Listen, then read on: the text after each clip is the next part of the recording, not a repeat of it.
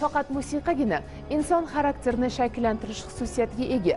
Musiqa yordamida inson o'zini to'g'ri his qilishni rivojlantirishni o'rganish mumkin. Arastu naqadar haq ekanligini musiqiy bilimi bor tanishlarimiz yaqinlarimiz misolida yaqqol ko'ra olamiz. Ular ziyrakligi sabr bardoshi nozik didi bilan ajralib turadi bu jihat esa havasga loyiq. Assalomu alaykum. Biz rasmiy shaxs bilan norasmiy vaziyatda suhbatlashish maqsadida yana efirdamiz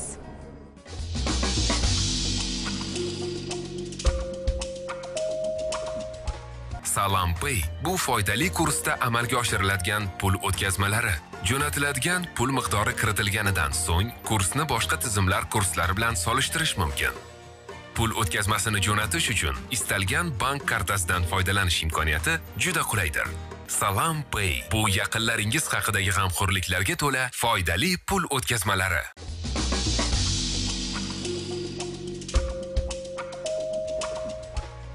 maqsadimiz aniq avval taom keyin kalom deganlaridek siz teletomoshabinlarga noodatiy taom retseptini taqdim etish orqali ko'rsatuvimiz mehmoni bilan samimiy suhbat qurish va shu orqali uning shaxsini qayta kashf qilish. Bugungi mehmonimiz o'zbekiston kompozitorlar va bastakorlari uyushmasi raisi o'zbekiston san'at arbobi rustam abdullayev. Assalomu alaykum. rustam aka assalomu alaykum ko'rsatuvimizga xush kelibsiz. Sizni ko'rib turganimizdan juda yam xursandmiz vaqt ajratib kelganingizdan boshimiz ko'kka yetdi. Tashakkur sizga. Gullar mengami rahmat kattakon rahmat. Juda ham xursand qildingiz. Rustam aka sizni ko'rsatuvimiz shartlari bilan tanishtirib o'tsam bilasiz ko'rsatuvimiz avval taom deb nomlanadi va ko'rsatuvimizda mehmon maqomi an'analarimizga xos tarzda sizga ustunlik beradi. Ya'ni bugun aynan sizning tanlovingiz asosida bosh oshpazimiz taom tayyorlab beradilar ichimlik tortiq qilinadi mezbon tomonidan ya'ni bizdan esa talab qilinadigan faqat bir narsa. U ham bo'lsa biz bilan samimiy suhbatga kirishsangiz. Tashakkur keling mana bosh oshpazimiz muxtor aka assalomu alaykum. Muxtor aka Salom, sizni ko'rib turganimizdan xursandmiz. Bugun bizga a, qanday taom tayyorlab berishlari rustam aka aynan sizning tanlovingizga bog'liq. Ya'ni hozir mana shu ko'zoychalar ichida yashiringan qog'ozchani olasiz. Tanlovingiz asosida bosh oshpazimiz aynan ushbu tanlangan taomni pishirib beradilar marhamat. Hozir mana ko'raylik. Mhm. qani? Qovoq dimlama. Qovoq dimlama. Dimlama ekan qovoq dimlama. Demak buning uchun muxtor aka bizga qanday mahsulotlar kerak bo'ladi? Aynan kuz mavsumiga mos taom Hmm, tanlabsiz. bizga keladigan mahsulot qovoq. Qovoq kerak bo'ladi. Qo'ziqorin go'sht mahsuloti mol go'shtidan qiyma piyoz pomidor pishloq kerak bo'ladi. Unda e, siz ishga kirishavering E, biz esa rustam aka bilan biroz suhbatlashsak sizga xalaqit bermaymiz mana a? bir ikkita savolim bor. Mhm, marhamat, marhamat. E, albatta bu juda originalni man e, nimada bunaqasi nimada qo'ziqorinlar bilan hali nima totib ko'rmaganmiz lekin muxtor akani nimasiga didiga qoyil qolganim qovoqlar ham har xil bo'ladida mana bunaqa dumaloq bilasizku shuning uchun ham e, siz kompozitor keladi deb mana bunaqani tanladingizmi? Dutorga o'xshagani chunki o'zlari aytib qoldiki nimaga buni tanladingiz desalar nima dedingiz siz buni tanlagan sababi bu bizani o'zbek milliy tor asbobiga o'xshashib ketadi Hmm, shuning uchun mana demak ko'rsatuvimizda mana kompozitor rustam aka kelganlari uchun o'sha mos qovoq tanladim. Qoyil qarang. Demak, buni ham dramaturgiyasi bor o'ziga demak bosh oshpazimizning didini ham aynan mana shu tanlovdan bilsa bo'ladi albatta. Oshpazlik mahoratingizni esa rustam aka bilan taomni tatib ko'rgandan so'ng bilib olamiz. Nima dedingiz rustam aka? siz mana ijodkor sifatida ko'plab davlatlarda gastrol safarlarida bo'lasiz xizmat safarlarida bo'lasiz. O'zbek milliy taomlari o'zbek oshxonasi qanday qabul qilinadi dunyo davlatlarida ustunlik jihati bormi? Endi e, bilasizmi biz bir paytlari tyumanga borganmiz. Nagan shahrida ko'plab ansambullarimiz borganda bir narsaga qoyil qoldimki u yerda andijondan o'zimizni o'zbekona osh qiladigan oshxonalar bor ekan. Hamma faqat shu o'zbek restoraniga borishadi ekan. Shunga shuni aytib berishadiki bizlar doim o'zbek restoranlariga boramiz. Endi bilasizmi tailand deymiz koreya boshqalar deymiz. ularda umuman boshqacha e, ovqatlari misol uchun koreyaniki achchiq bo'ladi. E, to'qson birinchi yilda stokgolmda katta festival bo'ldi shvetsiyada. E, shu yerda o'n kun turishga to'g'ri kelib qoldi. E, shu yerda kunda ularni ovqatlari juda ularniga bir qiziq hali dengizga yaqin nimaga bo'lgani uchunmi o'ziga xosligi bor ekan ovqatlarini lekin shu ovqatlardan o'n kun ichida shunaqangi charchadimki hali qaytish kuni man telefon qildimki shu menga tezroq borib bir osh o'zimizni o'zbek Sog'inib oilamizga sog'inib ketdikki shu maqsadim shu tezroq uyga borsaku shu o'zimizni oshlardan yesak chunki bizlarni mana bu e, shuncha ovqatlarimiz xilma xilki o'ziga xosligi bilan o'zini e, shirinligi bilan ajralib turadi. Shuning uchun ham mehmonlarimiz kelsa e, shu birinchi e, o'zimizni oshlarga shoshlik lag'mon manti shu bizlarda milliy taomlarimiz shu darajada boyki endi bizga shu o'zimizni ovqatlar nihoyatda ma'qul menga Ha, mana bugungi tanlovingiz ham aynan milliy taomlarimizdan biri hisoblanadi. Sababi bilamiz azaldan yurtimizda poliz ekinni qovoq juda yam e'zozlanib kelingan o'sha qovoq mantilar qovoq somsalar shir qovoqlar tayyorlangan siz uchun menimcha bugungi qovoq dimlama yangilik bo'lsa kerak bu bunday shaklda yeb ko'rmagansiz yo'q ayniqsa mana hozir mu- muzika asbobi shaklida nima qilyaptilar ishlayaptilar menga qoyil qolib turibmanki nafis qo'llarda nafis ovqatlar paydo bo'ladida buni dasturimiz so'ngida bilib olamiz albatta hozir esa rustam aka keling aynan ijodiy jarayon haqida ijodingiz faoliyatingiz haqida gaplashamiz suhbat maromga muvofiq kelib oshpazning jarayonidan ham xabar olib kelamiz albatta marhamat keling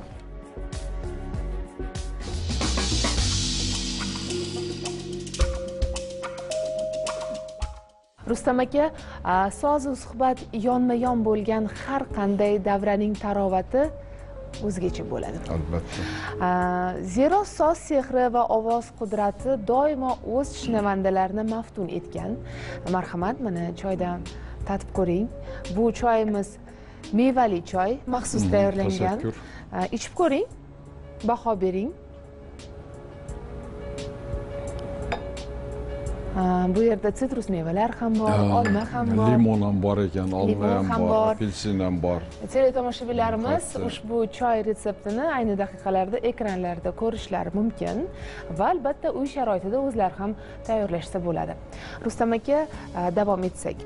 Ya'ni e, o'sha e, soz sehri va ovoz qudrati doim o'z shinavandalarini maftun etgan bilamizki sizning asarlaringizda ham o'ziga xos yorqinlik qandaydir bir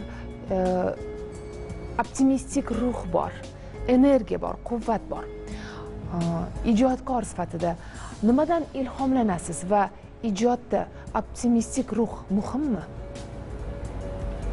endi bilasizmi u insonni ichki dunyosiga bog'liq narsa ular ko'p narsalar endi albatta optimistik ruh hamma narsada bo'lishi kerak shu bilan she'riyatda ham muzikada ham chunki optimistik ruh insonlarni yetaklaydi ruhini yetaklaydi misol uchun umuman e, muzikani o'zi muzikani vazifasi ham turgenev turgenov aytgan ekanki bu musiqa e, e,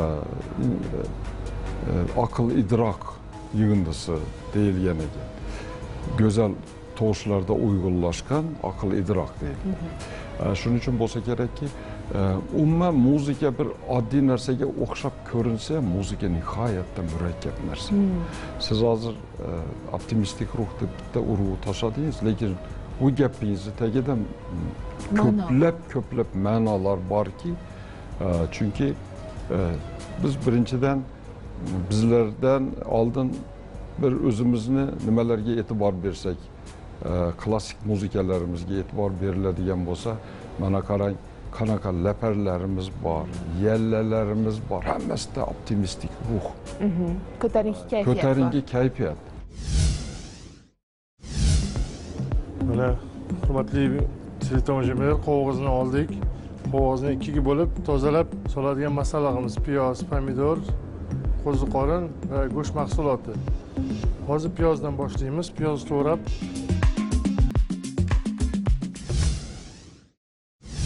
aynan mana shu nekbinlik kayfiyat ya'ni optimistik ruh sizni ilhomlantiradi yoki yana boshqa ilhom manbasi bormi?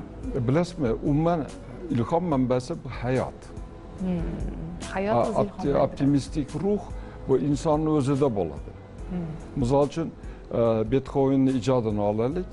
E, chunki e, o'lmas kompozitorlarimizni nihoyatda og'ir hayoti kechinmalari har bir g'ishni kurashib olgan har bir e, nimasida to'siqliklar bo'lishidan qat'iy nazar buyuk asarlar optimistik ruh asarlarini yozgan E, bizlarni bobolarimiz hammasi optimistik ruhda bo'lgan ona tomonimiz ham ota shuning uchun mani o'zimda bor mani asarlarim ham sizni asarlaringiz ham hammasi optimistik yorug' yorqin insonlarni nimaga shodlikka kayfiyatini ko'tarishga muhabbatga go'zallikka e, nimaga chorlaydiki chunki optimistik ruh tagida gap ko'p.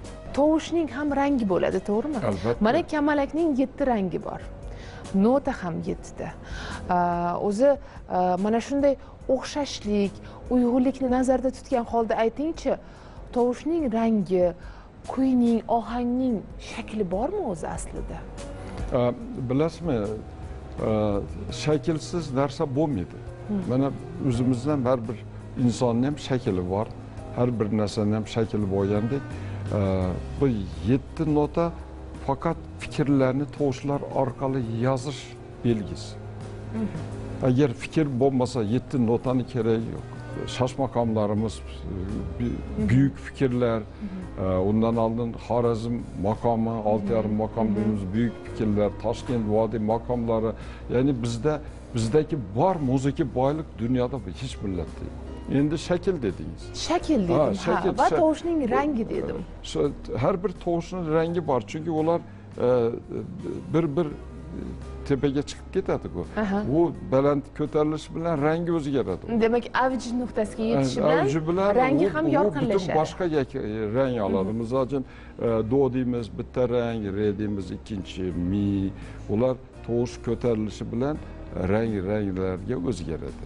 Bilamizki aynan bastakorlar mm, e, o'sha sun'iy musiqa asboblari ya'ni tovushlar o'sha sintezatordan chiqadigan tovushlarmi yoki o'sha bir maxsus tovushlardan yaratilgan musiqani unchalik xushlaşmaydi to'g'rimi?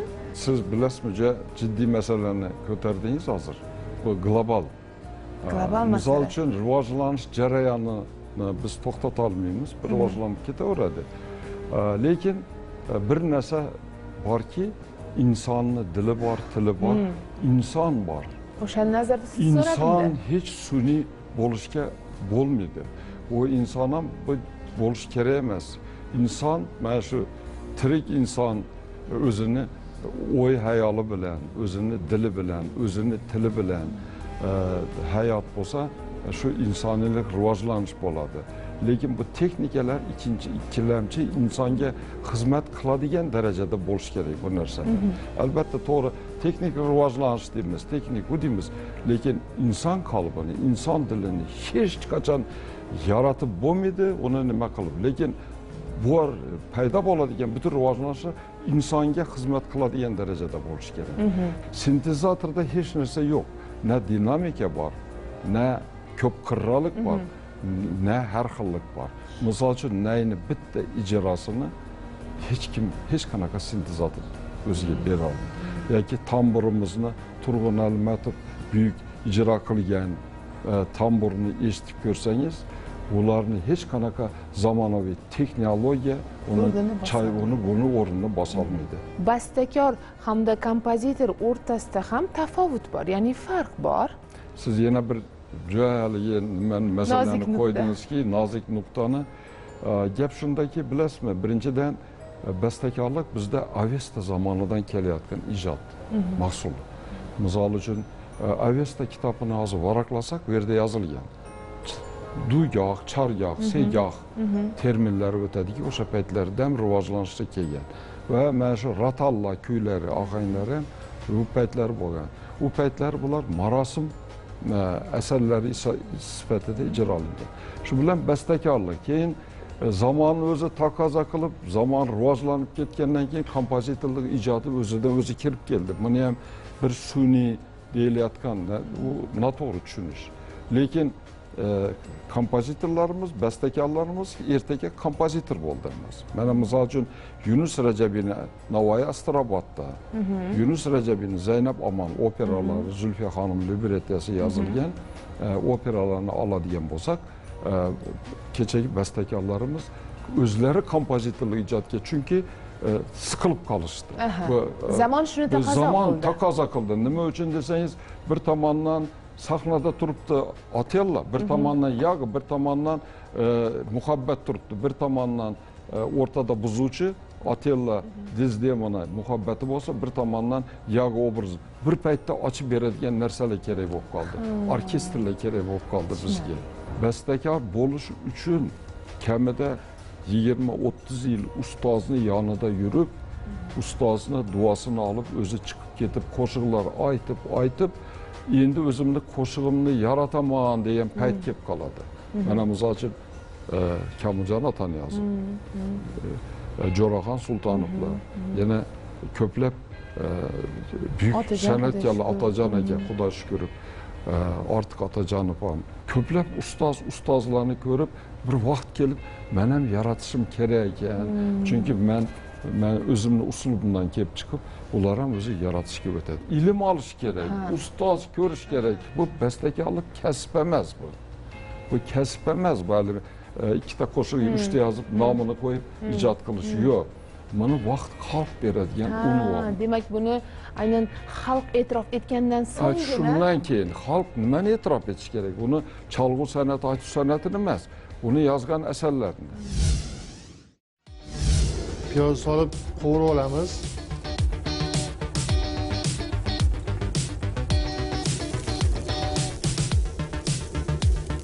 Piyozimiz qovurib bo'lingandan keyin qolgan mahsulotlarni solib qovuramiz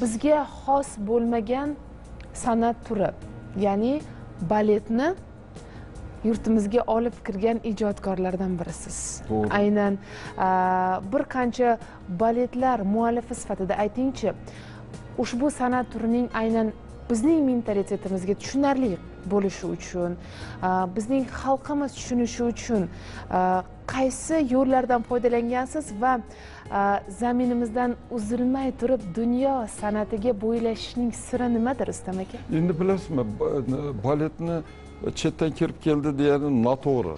Balki chet bizdan olgandir. Yo'q e. Nima uchun desangiz mana bu oldin marosim raqslari bo'lganku hozir aytdik aytaylik uchun- xotin bor edi e, misol uchun gap shunaqa bo'lganki bizda shu darajada raqs rivojlanganki bizada shunaqangi raqs uslublari borki oldin hattoki odamlar gaplasholmagan paytda e, harakat bilan tushuntirishgan bir biriga faqat e, haligi bizlarda raqs uslubi stil uslub boshqacha bo'lgan yevropada Boshqacha boshqacharoq misol uchun barmoqni uchida tushish bo'lgan. Agar so'z bilan hamma narsani ifodalasak balki muzikani keragi yo'q edi. mana misol uchun qovun qovunlar dedim mazali qovunlar dedim qarri qizindan dedim ram radam daradam ram dadali qovunlarni olayotganda o'zini ritm uslublari bor endi bu yerda muhabbat muhabbat nimasini tasvirlaydigan muzikalar borda misol uchun onani ichki qalbini nihoyatda so'z bilan ifodalash qiyin to'g'ri biz ona onamiz buyuk she'rlar yozilyapti romanlar yozilyapti ko'plab asarlar. Lekin shu tuyg'ularni faqat muzika musiqa orqali tasvirlash mumkin. Bu so'z ojiz. Dunyoga mashhur bastakorlardan bir qandaydir e, ibrat olganmisiz yoki bir andoza olganmisiz mana shu baletlarni yaratishda? Yo'q bu tabiiyku misol uchun e, odam o'zidan daraxt bir joyda o'zidan o'zi ko'karib ketmaydi. U daraxtlar ko'p bo'lsa bir biridan nima oladi ekan shuning uchun ham e, u tabiiy narsa. Andoza olish e, yaxshi tomonlama andoza olishda misol uchun bir yaxshi narsa yashashimiz uchun biz dunyo dunyo ijodini yaxshi bilishimiz kerak. O'rganish kerak. O'rganish kerak. Birinchidan o'zimizni milliy muzikani zo'r bilishimiz kerak. Ikkinchidan ikkinchidan maktablar bor. Fransiya maktabi germaniya maktabi italiya maktabi. Oldin e, har bir kompozitor bo'ladimi manimcha shoir ijodkor bo'ladimi o'zini milliy qadriyatlarini zo'r bilish kerak. Shuning uchun man o'zim rubobdan chiqqanman. Ashuladan vaqtida chiqqanman. E, keyin rubob ham chalganman vaqtida doiralar ham chalganman g'ijjak ham hammasini chalib chiqqanman milliy. Hattoki ustozlarni yonida ham ko'p yurganmiz bizlar. keyin o'qishga kirib nima qilgan? Lekin milliy qadriyatlarni har kim zo'r bilishi kerak. Ayniqsa hozirgi yoshlarimizga shuni ko'proq e'tibor berdirishimiz kerakki shu maqomlarni bir bir o'tish kerak demak aynan shu milliy a, qadriyatlarimizni o'zlashtirgachgina dunyo bastakorlaridan andoza olsa bo'ladi olsa bo'ladi. rustam aka ana endi operalarga o'tsak.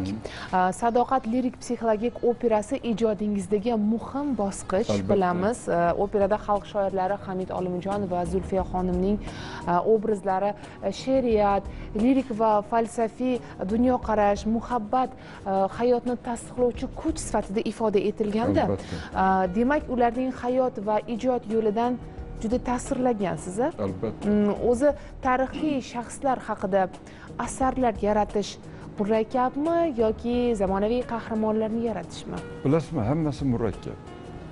Misol uchun endi zulfiya opa zulfiya xonim hamid olimjon g'ofur g'ulom oybek man ko'p yillar bo'ldi e, hamid olimjonni keyin g'ofur g'ulomni. G'ofur g'ulom bilan uylarida bo'lganman man. Qo'llaridan bir piyola choy ichganman yunus rajabiyni g'ofur g'ulomni.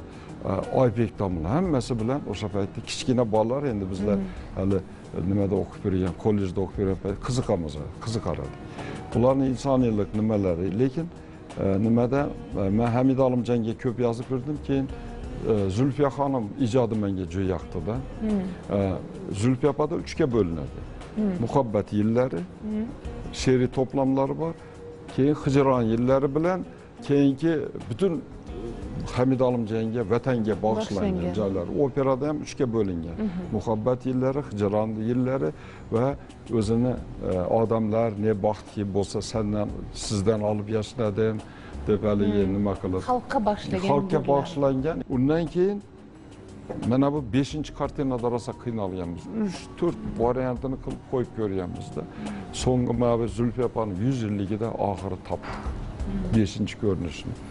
Bu umuman bizni ayollarimizga gimn desam bo'ladi. Matki. Ya'ni opera sadoqat. Sa- bizni ayollarimizga xos narsa sadoqat. Oilasini evaylash farzandlarini avaylab asrash o'zini kamtarin mehnati bilan har doim xalqiga xizmat qilish farzandlarni oyoqqa turg'izib ulug'lash sadoqat obrazi bizni ayollarimizga xos bo'lgani uchun ham bu tipik bir zulfiya xonim obrazi orqali man umumiy umumiy o'zimizni Barcha ayollar- ayollarimizni sizlarga bag'ishladim ayollarimizga bag'ishladim qadimiy xivani umuminsoniy hodisa sifatida ochib bergan operangiz ya'ni o'sha ilk operangiz haqida gaplashmoqchiman ya'ni avaz o'tar ijodidan ilhomlanib yozgan operangiz.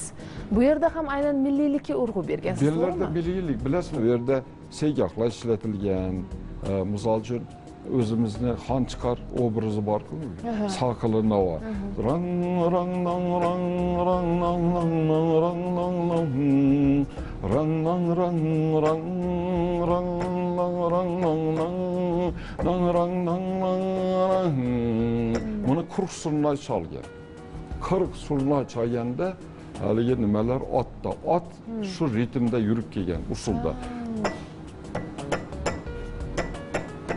shunaqa aynan shu usulga mos shu usulda borgan keyin bu ritmni bilasizmi ko'plari man bilan bahslashib yuriydi buni haligi e, glinkan e, nimasida o'zini operasida S- slavsiyada nimasida bor ta ri ri ra ri ri ri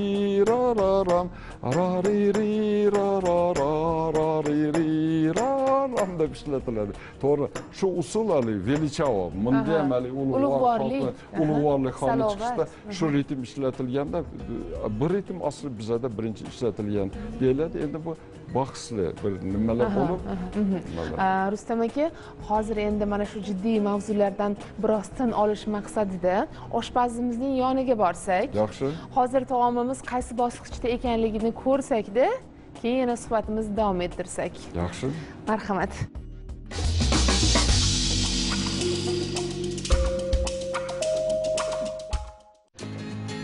rustam aka mana e, ko'rib turibmiz. Muxtor aka oho mana qovoqdan qarang qanday ajoyib shakl yasabdilar. Qarang dutor dutor bo'lgan tambur demak hozir e, qovoqning ichini o'yib oldingiz maxsus. Demak buni ichiga mahsulotlarni joylashtirasizmi yoki masalliqni? mahsulotimizni e, yarim tayyor mahsulot qilib oldik endi ichiga solamiz bularni. Aha bu yerda nimalar nimalar bor? Mana qiyma mana qiyma. qo'ziqorin qo'ziqorin pomidor piyoz hammasi yarim tayyor mahsulot qilib qovurib oldik endi ichiga solamiz bularni. Rustam aka o'zi bastakorlik va oshpazlik qandaydir bog'liqlik bormi? Nima deya olasiz mana shu haqida endi bilasizmi hattoki bizada qo'shiqlar ham bor. Ha. Mana misol uchun ustozimiz abdusharif otajonov qanday ovqat pishirsam pishirsam pishirsam. Chiqaraman qandini hey degan oshpazlar to'g'risida xirgoyi qilish xirgoyi qilib yozgan qo'shiqlari borki endi agar buyuk kompozitorlarni oladigan bo'lsak kompozitorlar ichida nima rossini hali sivelskiy siveliy sattorov yaxshi bilasiz. Shu nihoyatda zo'r oshpaz bo'lganki buning uchun ovqat pishirish qiziqishi bo'lgan. muzika yozish bilan birgalikda shu o'zini aytishicha e, man uchun eng nimasi shu oshpazlik bo'lgan shu kelib ovqat yaxshi ko'rgan o'zimizning kompozitor bastakorlar endi o'zimizni kompozitorlarni ichida ham aytish mumkin oldin e, bizni buyuk yunus aka yunus rajabiy ansamblni rahbarlari bo'lgan paytlari ular do'rmanda joylari bo'lgan o'zlari e, oyiga bir marta yig'ilishib shunaqangi mushoiraga o'xshagan e, aytishuvlar qilishgan shu aytishuv paytida albatta bularni bitta ovqatni o'zlari tayyorlashdi jarayonda demak mana shu iste'dodlar yig'ilgan joyda taomga ham o'rin taomga ham o'rin qolgan va shu bilan birgalikda e, albatta mana dona aka dona zakir zo'r nima qilgan ovqatlarni pishirgan har xil E, shu bilan birgalikda hech man suvayman juda ko'p esimdan chiqmaydi E, qachon borsangiz o'zlari hali buxorocha osh pishirib o'tiradilar E, va shunaqangi pazanda shunaqangi nimalar bo'lgan Э, keling unda e, taomimiz pishgunga qadar yana suhbatimizni davom ettiramiz so'ng kelib xabar olamiz.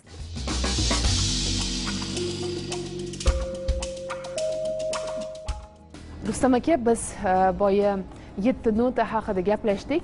Endi hozir menda savol uyg'andiki yetti nota bu borliqni ifodalash uchun kamlik qilmaydimi? Yo'q bilasizmi e, bir yetti nota bu e, bizda e, italiyadan doretsi degan u nima uchun yetti notani uni xo'jayini bo'lgan yevropada muzikalarni paydo bo'lishi ko'plab kamer muzika bilan organlar bo'lgan organlarda e, organlar bilan xorlar bo'lgan ular ijro qilishgan.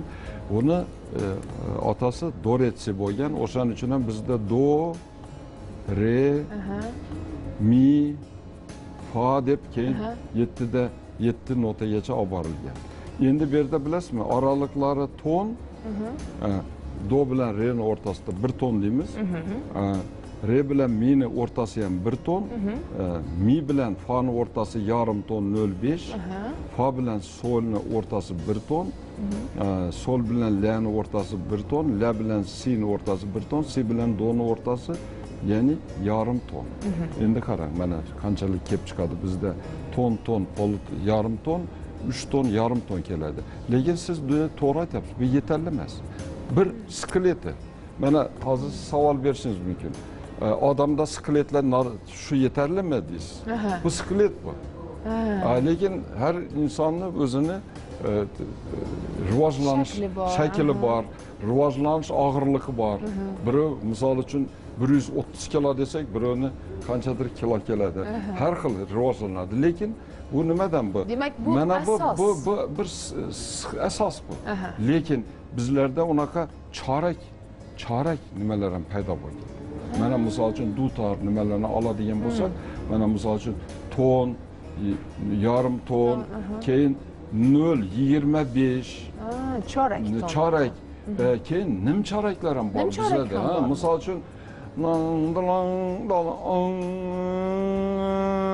deb haligi nimalar qilib e, Nimalar e, shu chalg'anda turg'un aka yoki e, nima naylarimizni chalg'anda qanaqangi nolalar qilishadiki bu yerda ton politon emas bu yerda chorak bilan nimchorak notalar ishlaydi rivojlanishi har millatda har xil misol uchun hindiston muzikalarida haligi sitara chalishadiku ularda shu nimchorak chorak nimchorak yarim bir ko'p ishlatiladi bizni bizni milliy muzikamizdan bir bir skelet bo'lib bo'la turib bolalarimizga bir narsadan o'rgatishimiz kerakku bular o'rgangandan keyin e, keyin maqomlarda ishlatiladi. Mana shu o'zimizni maqomlar borku e, e, ular hammasi aniq yozilmagan.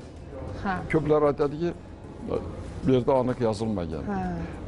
To'g'ri e, yozish uchun misol uchun nayninna nahoran nahoranan na na na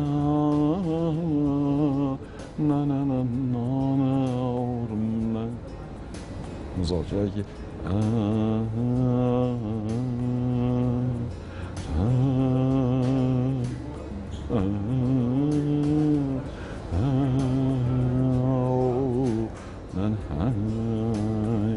qarang qarang man sizga ijro qilib turgan joylarda to'n to'n yarim to'n emas nimchorak Nimchorak, chorak e, haligi e, bizda glissanda deydi shunaqa qilib o'tib ketayotgan joylar ham demak mana shu yetti notadan asos sifatida foydalanib turib undan yana a, boshqa ya'ni undan kengroq foydalanish ijodkorning mahoratiga uning salohiyatiga bog'liq. To'g'rimi? Uni ishlatish. albatta. Misol uchun e, mana shu e, suvaralar deymizku. Bizada endi suvaralar e, faqat xorazm nimasiga mansub bo'lib e, buni misol uchun суаралар барки Хажихан Балтаев ижра кылган. Булар Дутар тамбырда. Кейинчалик уну Камыжан Атаниясов ижра кылган, кейинчалик Атажак Кудай. Уларны һәр хил услупта ижра кылат булар. Bir-birini kopya kılıp әлі Takrarlamaydı. Nime tekrarlanmaydı. Çünkü her kaçıda her hıl kaçırımlar var, hmm. her hıl e, nalalar var. Hmm. Mənim misal üçün şu nimelerimiz deyəm, mənim misal üçün münacat yol çivanı. Oladigan bo'lsak bir xil ijro qiladi nasiba sattorov shuni aytayotgan narsasini boshqacha yana kimdir yana boshqacha qiladi. Chunki har qaysisi o'zicha mana dizayn o'ziga xoslik bor o'ziga xoslik bilan e, mana bu nimalarni ishlatishadi. A bu e, nimasi? Shunchaki asos. asos qolib ketadi. Lekin har bir narsaga asos bo'lishi kerak. Juda yam chiroyli. Tushuntirib Hmm. berdingiz. E, menimcha hozir e, aynan hattoki o'sha musiqa ilmidan e, bexabar bo'lgan insonlar ham sizni juda ham to'g'ri tushunishdi. Ya'ni shu yettita notani inson o'zining salohiyatidan o'ziga xos qilib yaratishi bu uning qay darajada mahoratli ekanligini ko'rsatib to'g'ri. beradi bilamizki musiqa san'ati avvalo iste'dod bilan bog'liq. Albatta. Iste'dod yo'q insonga musiqa olamida ham menimcha o'rin yo'q. Sababi aynan iste'dodli o, insongina mana musiqa san'atida musiqa olamida o'z o'rnini topadi. Va shuni nazarda tutgan holda musiqiy ta'limning komil kompozitor bo'lib a, yetishda insonning o'rni qanday? Gap shundaki e, ikki xil san'at borda turkum. Havoskorlar san'ati bor professional san'at bor.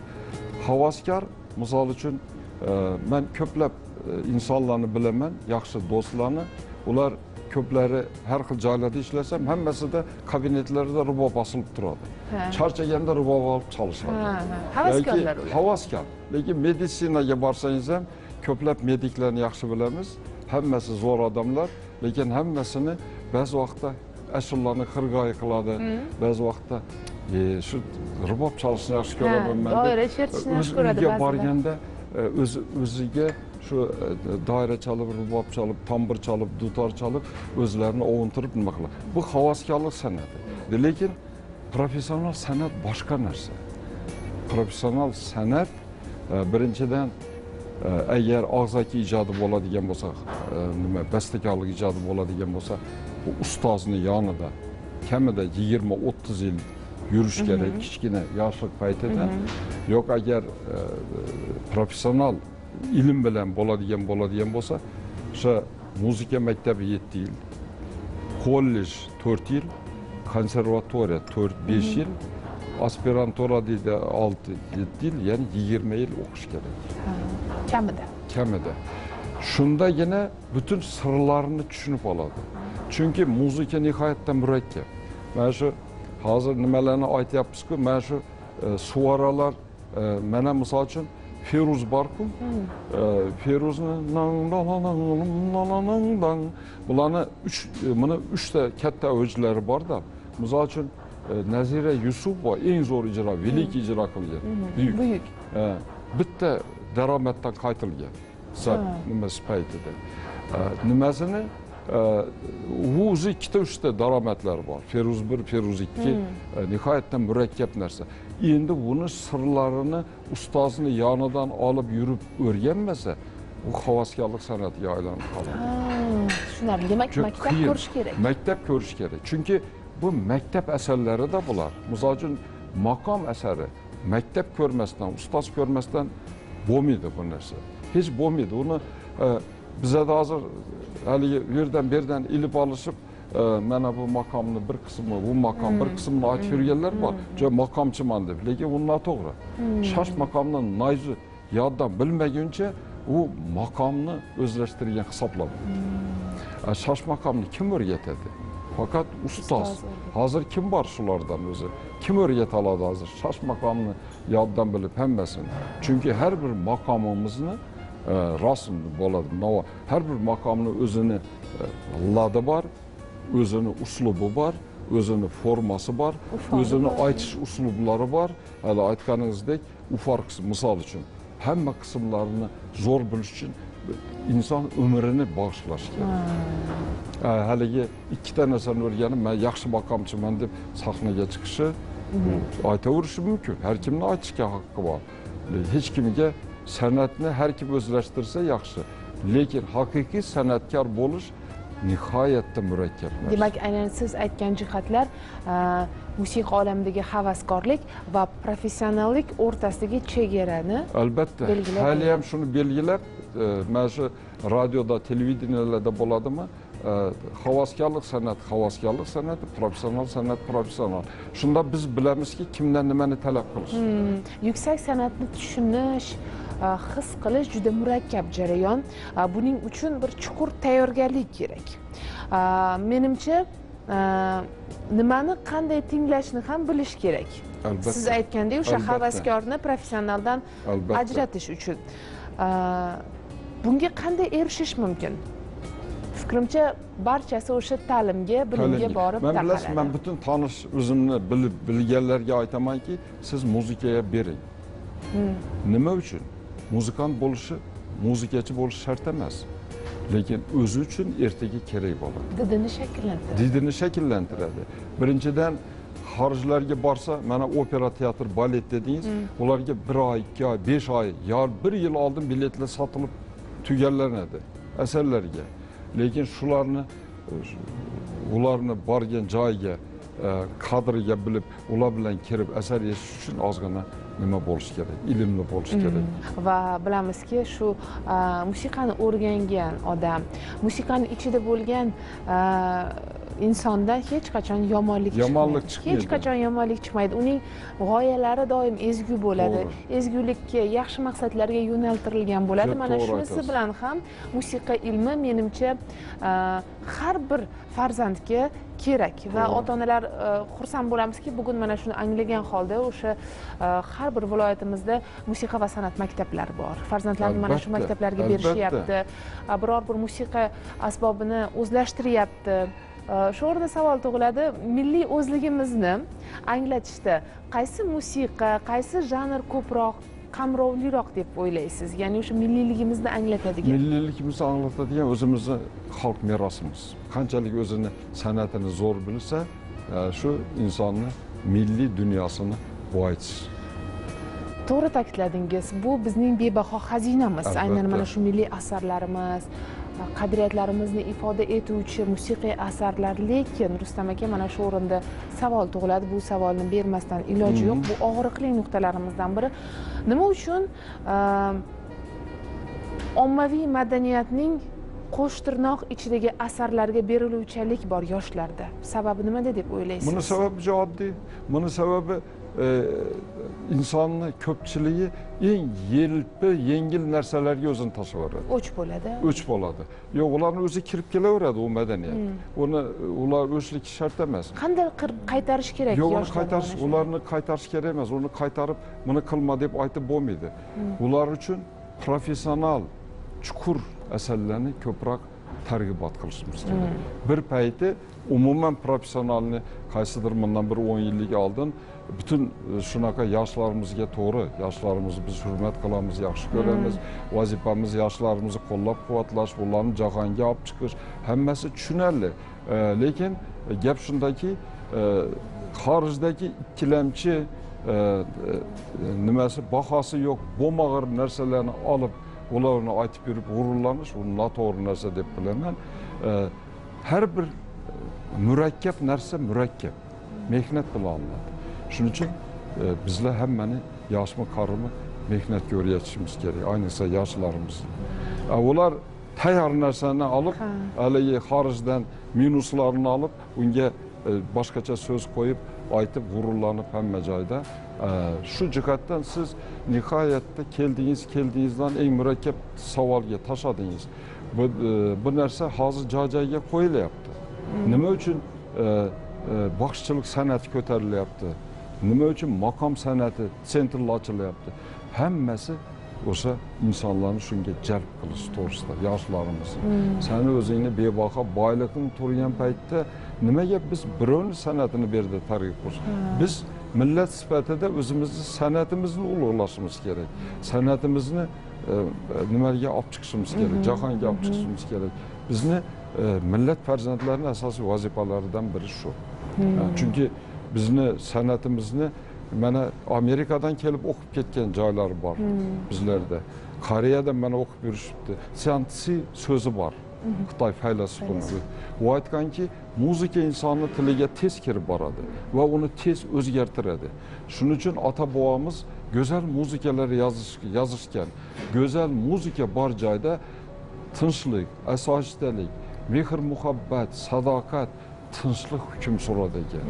Shuning uchun biz nihoyatda mana bu bo'lmag'ir muzikalardan bo'lmag'ir so'zlardan e, iloji boricha asrashimiz kerak yoshlarimiz Mhm, fikringizga yuz foiz qo'shilaman. A, o'zi aslida ijod a, sharoit talab qiladimi yoki buning uchun qulaylik barcha imkoniyatlarni mavjudligi muhim emasmi? Nima deb o'ylaysiz? Mana aslida ijod ilhom mahsuli. Ilhom esa ilohiy narsa bilamiz. Asar ham mana shu ilhom mahsuli deyiladiku. Qandaydir bir qulay sharoitlar shartmikin yoki e, man iste'dodi sizga bir gap aytib bering zo'r savol beryapsiz. Betxoven bir xonada yozib bir xonada o'lib ketadi. Hech kim ham yordam ham bermaydi unga. Demak sharoit muhim emas. Yo'q gap shundaki u ichki tuyg'ularni nima qilish? U ichida ifoda etish ichidagi tuyg'ularni olib chiqish. U odamga shar odamni o'zida bo'lmasa mingta sharoit yaratib bering mashinalar qo'yib qo'ying samolyotlar u odam yozolmaydi. Bu o'zini ehtiyoji insonni shusiz turolmaydi unga sharoit yaratib berasizmi? Yaratib bermaysizmi inson yozaveradi. Lekin shu yozib yurgan insonni sharoitini yo'qligini ko'rib yordam bergan albatta yaxshi bo'ladi. Ha mana ijodkor sifatida mm, inson umrini musiqiy asarga qiyoslash to'g'rimi? Bu qanchalik o'rinli bo'ladi? Shu ma'noda siz o'zingizni umringizni qaysi kuyga o'xshatgan bo'lardingiz? Har bir inson bir tarix. Ha, e, har bir tarix e, bitta katta muzika dunyosi qaysi asarga nima qilish albatta insonni hayotida ko'plab peripod nima deydi chiqib tushgan hayotda to'g'ri Turli xil vaziyatlar bo'ladi, turli xil vaziyatlar, turli xil egri bo'ladi tu- tushunmovchiliklar har xil yo'ldagi odamlar e, yo'l usti. Shuning uchun bir hayotni bitta muzikani nimasi deb aytish balkim murakkabdir. E, lekin e, shu bir katta klassik muzika dunyolariga to'g'ri keladi insonni hayoti. Chunki- o'zingizni a, bugungi kundagi faoliyatingizdan kelib chiqib hayotingizni qaysi kuyga tenglashtirgan bo'lardingiz taqqoslagan man bo'lardingiz? o'zimni shodlik man e, shodlik kuylariga tenglashtirgan bo'lar edim nima uchun desangiz e, man o'zimcha filosof muzika yozganda manda plach kerosima degan hijron faryodi degan e, epitafiyalar hamma narsa ko'p yig'loqit tragichniy lekin man har doim go'zallikka shohlikka haligi e, optimizmga nimaga nima qilaman? E, ruhi tetik narsalar yaxshida. Albatta endi hayot e, bir xil odam ovqat yeyavermaydiku har xil bir xil bo'ladi maromda taom- davom etmaydi. Davom etmaydi yaxshi kayfiyati bor yomon kayfiyatlari. Lekin ruh tetik muzikalar insonga ruh bag'ishlaydi va nazarimda aynan siz aytgandek bir ruhiyatni ko'taruvchi bir musiqani hayotiga asos qilib olsa o'sha e, hayotida uchraydigan turli xil vaziyatlarni ham yengishi oson bo'ladi. Chunki xayolan fikran mana shu musiqa unga hamohang bo'ladida. To'g'rimi mana shunga qarab albatta intiladida. ko'pchilik paytlari lekin e, mana bunaqa faylasuf o'tirib hayol surib e, yo birovni sevgan damlar yoki birovni Ayriliq onlari. odamni hayoti radugaga o'xshaydi. Siz kamalakali zo'r aytib ketdingiz o'zingiz. Chunki biri qizil biri e, oq bir kun unaqa bir kun bunaqa insonni hayoti to'q ranglar uchraydi shuning uchun ham e, bitta muzika bilan nima qilish e, qiyindir lekin mana bunaqa o'ziga asos qilib haligi turtki beradigan bir musiqani beradigan muzikalar bo'lsa albatta hayot shunaqa bo'ladi. Keyin shunaqa odamda optimizm kuchli bo'ladi. Sog'lig'i ham yaxshi bo'ladi. To'g'ri to'g'ri. Ko'p muzikalar ruh beradi. Ruhni ezadigan muzika eshitsangiz insonni nimaga olib Tushkunlikka tushkunlikka yetaylik. Rustam aka mana bugun siz bilan suhbatlashib to'g'risini aytsam o'zim uchun optimistik ruh oldim. Kayfiyatim ko'tarildi. Rahmat. Men ham siz aytgandek o'zimga shu hayotim davomida biror bir musiqani asos qilib olsam ana shu musiqa menga turtki bersa hayotim davomida yaxshi bo'larkan deb o'ylab qoldim hozir. Albatta. Va bugun vaqtingizni ayamay suhbatimizga kelganingiz uchun rahmat aytamiz. Mana shu uyushmaning faoliyatiga albatta biz parvozlar tilaymiz bilamiz. Oldingizda hali juda ham ko'p bajarishi kerak bo'lgan ishlar bor. to'g'ri aytasiz. Yil so'ngigacha qilinishi kerak bo'lgan ishlar bor. Kelasi yilga mo'ljallangan tadbirlaringiz rejalaringiz bor bilamiz. Biz jurnalistlar doimiy faol ravishda siz bilan hamkorlik qilamiz qatnashamiz mana shu tadbirlarda. Ijodingizda omad tilaymiz. Rahmat. Hamisha hayotingizda mana shunday ko'tarinki ruhdagi musiqalar hamroh bo'lsin deymiz. Nozmaxon rahmat. Suhbatga berilib ketdik. Siz bilan taomimiz esa allaqachon tayyor bo'ldi. Yuring oshpazimizning oldiga xabar olaylik taomni tatib ko'raylik. Ijodkor sifatida taomimizga baho berasiz. Marhamat. tashakkur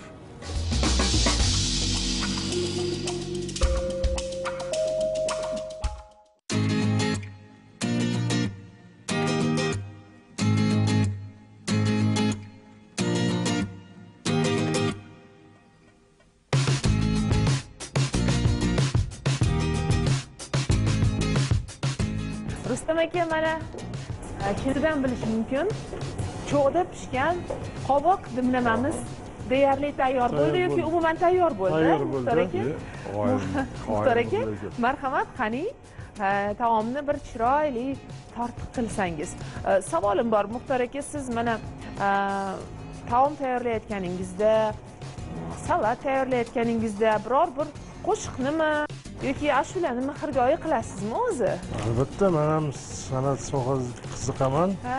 xirgoyi qilib turaman. Qaysi qo'shiqni xirgoyi qilasiz?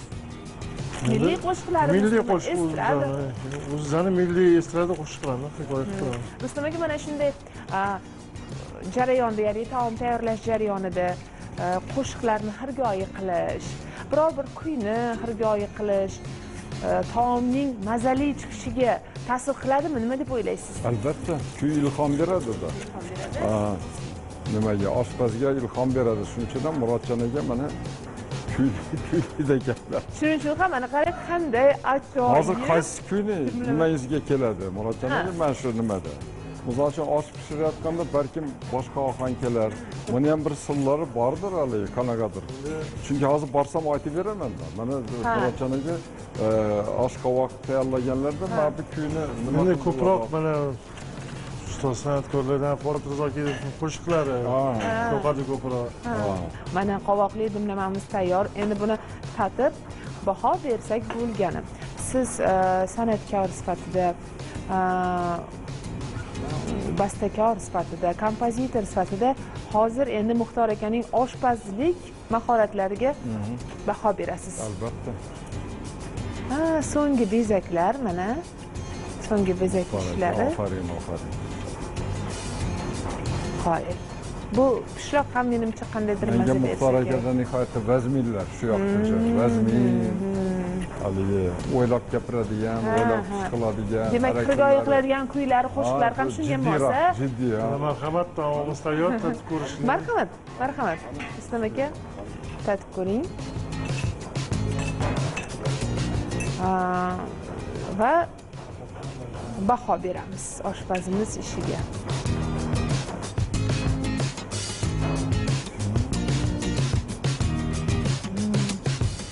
qanday rustam aka zo'r. Rahmat zo'r bo'lgan original bo'lgan mazasi ham o'ziga yarasha. Qovoqning qiymaning pishroq hattoki mana qo'ziqorining mazasi ham bir qandaydir e, yangilik yangilik taomday. Bu taomlarni yegandan keyin go'zal muzikalar albatta insonga hirgoy qilishga albatta. chaqiradi. Albatta. A, muxtor aka bugun mana shunday e, mazali dimlamani tayyorlab berganingiz uchun sizga rahmat. Qo'lingiz dard ko'rmasin. Albatta o'ylaymizki bundan keyin e, bundanda chiroyli bundanda mazali taomlar tayyorlab berasiz bizga xo'randalarga o'ziga xos ijod bu ham ijodingizda omad tilaymiz sizda ham. A, rustam aka shu o'rinda. Uh, biz ham shu ko'rsatuvimizga kelganingiz uchun bizni soz sehri umuman musiqa olamidagi bir sehrli va insonlarga ma'lum bo'lmagan jihatlarni aytib berganingiz uchun aytib o'tganingiz uchun mana shularni mm, kechinmalarni dil kechinmalarini aytganingiz uchun minnatdorlik bildiramiz sizga ham. Sizning ijodingizda ham yuksalish tilaymiz. Va o'zbekiston bastakorlar va kompozitorlar uyushmasi gullab yashnayversin deymiz. Tashakkur sog' bo'ling. Man ham tashakkurimni bildiraman. Rahmat rahmat rahmat sizlarga avval taom keyin kalom. Ko'rsatuvimizni ushbu aytemning birinchi qismi bilan nomlaganmiz lekin e'tibor bergan bo'lsangiz ikkinchi qismiga ko'proq urg'u berdik. O'ylaymizki bizga qiziq bo'lgan jihat sizlarni ham befarq qoldirmaydi.